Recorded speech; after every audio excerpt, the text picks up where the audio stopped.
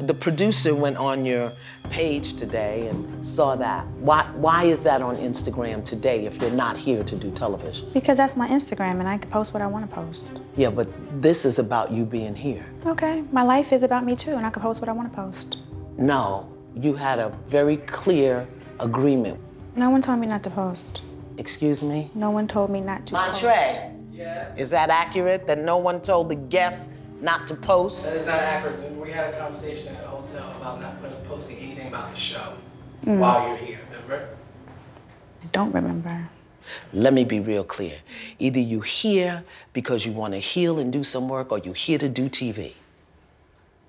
That's what I'm saying. Well, let's straight not, up how in about let's not even air the show? The show's gonna be on TV, right?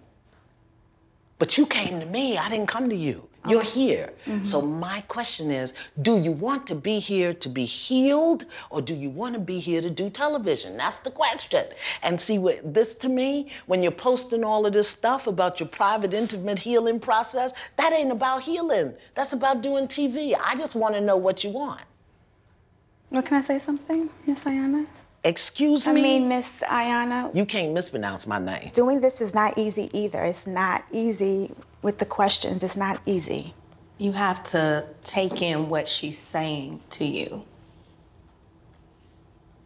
And that's why I think you're having a hard time with it because Why she's having a hard time is because she ain't telling the truth. She didn't come here to do no damn healing. She came here to be seen with Iyanla Vanzant. That's why you having a hard time. Okay, I respect That's that. why you having a, uh, no, it's not my opinion. Mm-hmm. And you putting my name mm-hmm. on your Instagram mm-hmm. wasn't about the celebration of this healing process. It was about you making sure that they knew that you was with me. Tell a damn truth about it.